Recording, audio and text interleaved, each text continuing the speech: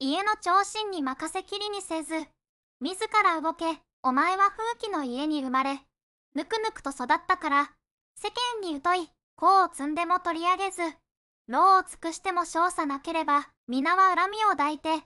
人心は離れる、北条氏康。この名言は、自分の立場や責任を自覚することを説いています。氏康は、嫡男の氏政に家督を譲った後も、共同統治を行い、家臣の功労や苦労を見逃さないことで、家臣の忠誠心を得ていました。北条氏康は、相模国の戦国大名で、